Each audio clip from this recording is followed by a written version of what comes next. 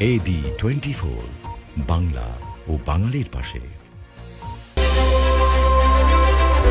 করোনার প্রতিষেধক তৈরিতে সাফল্যের দাবি করেছে ইতালীয় এক প্রতিষ্ঠান।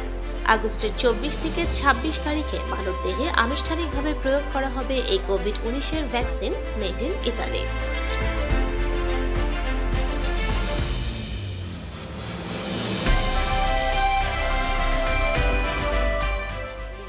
ইতিমধ্যে ভ্যাকসিন পৌঁছে গেছে দেশটির সংক্রামক রোগের জন্য বিশেষায়িত বিখ্যাত স্পালানজানি হাসপাতালে। ইতালিয়ান প্রতিষ্ঠান আইআরবিএম ইংল্যান্ডের অক্সফোর্ড বিশ্ববিদ্যালয়ের সহযোগিতায় করোনা ভাইরাসের প্রতিষেধক তৈরি করেছে। ইতিমধ্যেই ভ্যাকসিনটি মানবদেহে পরীক্ষা করে সাফল্য পেয়েছে গবেষকরা। আগস্টের শেষ সপ্তাহে প্রাথমিকভাবে আবেদনকারী তিন হাজার স্বেচ্ছাসেবীর মধ্যে তিনজন স্বেচ্ছাসেবীর দেহে প্রয়োগ করা হবে করোনার ভ্যাকসিন। প্রতিষ্ঠানটির প্রধান নির্বাহী কর্মকর্তা আশাবাদী স্বাস্থ্যকর্মী ও আইন প্রয়োগকারী সংস্থার সদস্যদের ওপর সেপ্টেম্বরের মধ্যে প্রয়োগ করা সম্ভব হবে।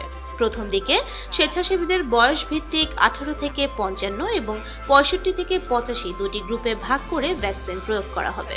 চিকিৎসকরা বলছেন, ভ্যাকসিনটি বিভিন্ন বয়সের মানুষের দেহে প্রয়োগ পরবর্তী বিশেষ কোনো জটিলতা না থাকলে এ বছরের মধ্যেই ষাট মিলিয়ন মানুষকে ভ্যাকসিনেশনের আওতায় আনতে পারবেন প্রস্তুতকারী প্রতিষ্ঠানটি।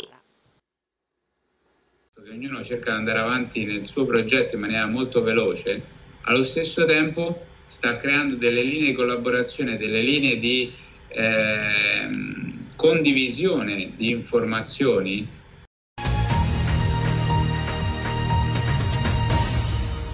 AB twenty four Bangla ও বাঙালির পাশে